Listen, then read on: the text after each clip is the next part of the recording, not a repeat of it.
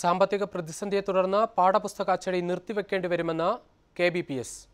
പാഠപുസ്തക അച്ചടിയിൽ മാത്രം നൂറ്റി നാൽപ്പത്തി എട്ട് പോയിന്റ് മൂന്ന് എട്ട് കോടി രൂപ സർക്കാരിൽ നിന്നും കിട്ടാനുണ്ടെന്നും കെ ബി പി എസ് വ്യക്തമാക്കുന്നു.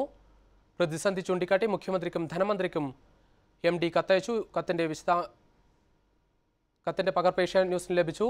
വിശദാംശങ്ങളുമായി ഇപ്പോൾ കെ അരുൺകുമാർ ചേരുകയാണ്. അരുൺകുമാർ എന്തൊക്കെയാണ് കത്തിൽ ചൂണ്ടിക്കാട്ടുന്നത്?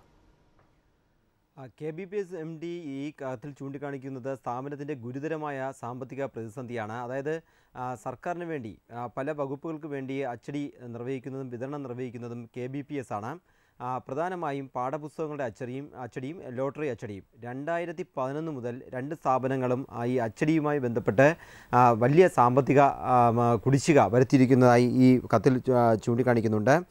വിദ്യാഭ്യാസ വകുപ്പ് മാത്രം നൽകാനുള്ളത് നൂറ്റി നാൽപ്പത്തി എട്ട് കോടി രൂപയാണ് വിവിധ വകുപ്പുകളായി ഇരുന്നൂറ് കോടി രൂപയിലധികം രൂപ കോടിയിലധികം രൂപ നൽകാനുണ്ട്. ഇത്തരമൊരു സാഹചര്യം ഉണ്ടായിക്കഴിഞ്ഞാൽ അടിയന്തരമായി ഈ അച്ചടികളെല്ലാം നിർത്തിവെക്കേണ്ട ഒരു സാഹചര്യമാണ്.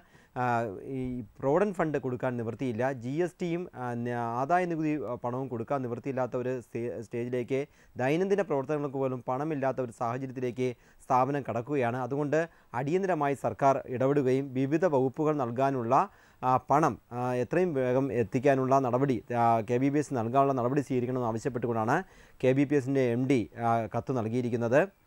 അതായത് ഈ അടുത്ത അധ്യയന വർഷത്തിലേക്കുള്ള അച്ചടിക്ക് പാഠപുസ്തക അച്ചടിക്ക് വേണ്ടി സാധനങ്ങൾ വാങ്ങിക്കഴിഞ്ഞു. പക്ഷേ അത് അച്ചടിക്കാൻ നിർവാഹമില്ലാത്ത ഒരു ഇതിലിരിക്കുകയാണ്. വിതരണം ചെയ്യുന്ന കമ്പനിക്ക് പണം നൽകാൻ വേണ്ടി കഴിഞ്ഞില്ല കഴിയുന്നില്ല. അതുകൊണ്ട് അടിയന്തരമായി ഇടപെടണമെന്ന ആവശ്യമാണ് ഇപ്പോൾ മുഖ്യമന്ത്രിക്ക് മുമ്പിൽ കെ ബി ബി എസ് വച്ചിട്ടുള്ളത്.